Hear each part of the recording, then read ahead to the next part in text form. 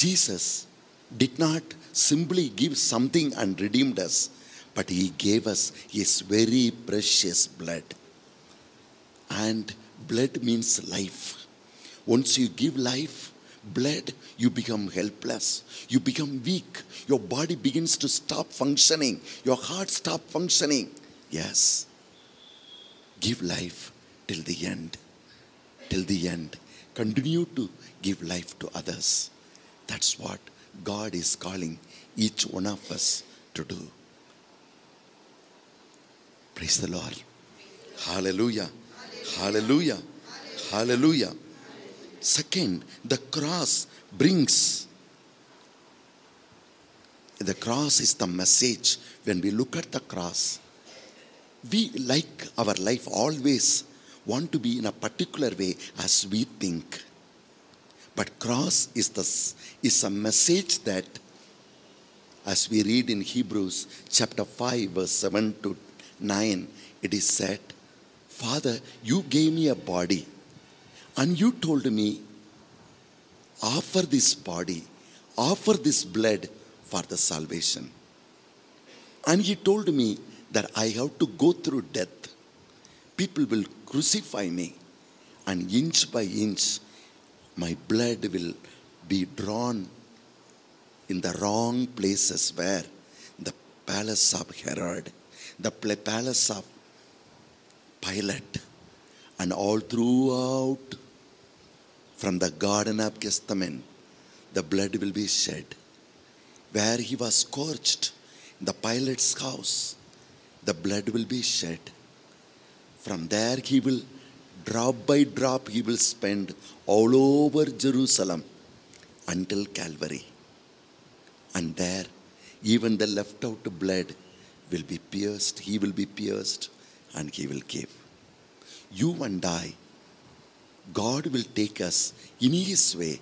Life is to be in the hands of God and allow God to fulfill his purpose in our lives. Life is to be in the hands of God and to allow God to do what He wants us, wants to do with us. Yes, life is to be in the hands of God and allow God to fulfill His purpose in our lives. Life is to be in the hands of God and allow God to fulfill His purpose through our lives. Yes, that's what life is. That's what St. Paul, you know, he said in the book of Acts, chapter 20, verse 23 to 24, he said, Wherever I go, in every town, the Holy Spirit wants me that persecution and suffering is waiting for me. But I am not bothered about it. That I am going ahead because wherever I go, I bring the good news of Jesus. My life is not about myself. God has trusted me. Out of so many people, He chose me as His own. Maybe if I look into the world, I, I may not have, like the people of the world, built up the house, earned plenty of gold. I don't mind. Read the word of God. Read Acts chapter 20, verse 23 to 24 except that the Holy Spirit testifies to me in the Holy Spirit, except the Holy Spirit testifies to me in every city in every city that imprisons that imprisonment and persecutions and persecution are waiting. are waiting for me. But But I do not count my life I do not call for life. Of any value to myself, I don't think my life is of any value. If I look in from the eyes of the world, there may not be value. But I lay down my life along with my Savior. Along with my Savior. And I bring forth life. Though every town there is persecution, but I get a chance to speak about Jesus. If I am thrown in the jail, I speak to the jailers. If I travel in the sea, I live with the s- people who travel and do miracles and wonders. Yes, wherever I go, I carry Jesus. Praise the Lord. Yes, Lord. In the book of Philippians, chapter 1, verse 21, he says, For me, For me, living is Christ living is Christ. and dying is gain. If I am dying, it's okay. I will go to heaven. He says uh, to God, Lord, look, I have become old now. You know, my body has become weak. And uh, because I got three times, I was stoned. And once with a rod, they hit me. You know, so many days without food, I traveled. And my body, every part of my body has become very tired and full of pain. Now I have become old.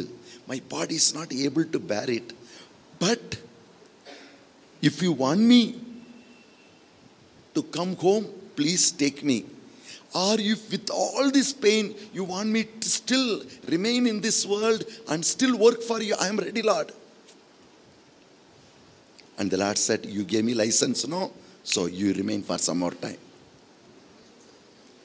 Praise the Lord. Hallelujah. Hallelujah. Life is not in our hands. That's why we read the book of Jeremiah, chapter 10, verse 23. Lord, I know no man's life is in their hands. And man, whatever he tries, he realizes his way is not in his hands. I know, I know, O Lord, O Lord, that the way of human that being the way of the human being is not in their control. is not in their control. That mortals, as they walk, As mortals, as they walk, cannot direct their steps. man, they cannot direct their steps. Praise the Lord. Praise the Lord. Praise the Lord. Praise the Lord. So, cross means allowing God to do whatever He wants, allowing God to lead my life as He wishes.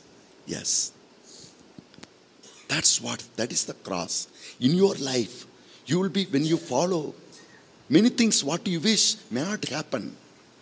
Many things which you, don't want to do may come and attack you. But you keep the cross. You don't go back. You keep the cross ahead and tell Lord, here I am to do your will. Yes. Yes. That's what we read in the book of Hebrews, chapter 5, verse 7 to 10. Daddy, you gave me a body, and here I come to do your will.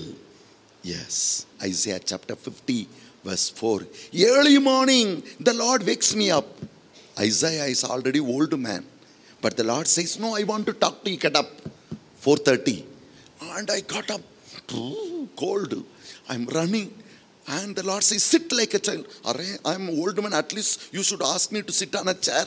You are asking me to sit down. So I make my face like a stone and I sit like a disciple and listen to you. I am not my own. I have given my life to God and let Him use me whatever He wishes to, in whatever way He wishes to. That is called a cross. If anyone wants to follow me, take up your cross and follow me means offer your life to God and allow God to do whatever He wishes to do. If we are people of the world, we will not allow. Sometimes the things that happen in our lives, we may not understand. Only looking at the cross, even when we don't understand, we will proceed in life. A man was carrying two buckets every day, carrying from the well to his house. But one bucket got some holes, and the water started to fall on the way. And he was carrying the, buck- the bucket full of water, started to look at the another bucket. By the time the man reached home, it became half. You are a waste candidate.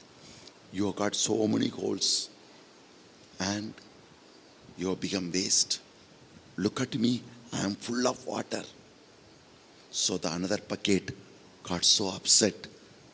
And one day it said to the master, I am waste, I am useless. And I am full of holes, and you have no time even to close that holes. She started to complain. The master said, At times there may be holes in your bucket. At times the world may say only the leaking in your bucket. But only your master knows why he allows all those things. Maybe your brother is coming up in life, you are not. Don't get upset. You continue to be source of life and goodness till the end of your life.